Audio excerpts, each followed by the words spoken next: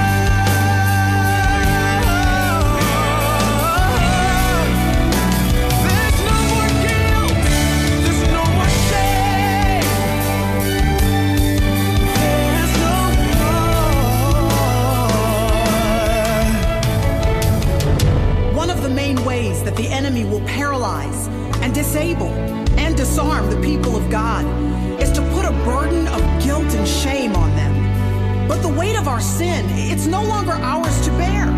Our Savior took it all. He paid the full price on Calvary. And the enemy knows that if you ever really grab a hold of that truth, you'll really be victorious. And here's the truth there is therefore now no condemnation for those of us who are in Christ Jesus. So be free, my friend. Be free. Christ who died, raised to life, made a way for me. There's no death, there's no height that can separate me. That can separate me. Christ who died, raised to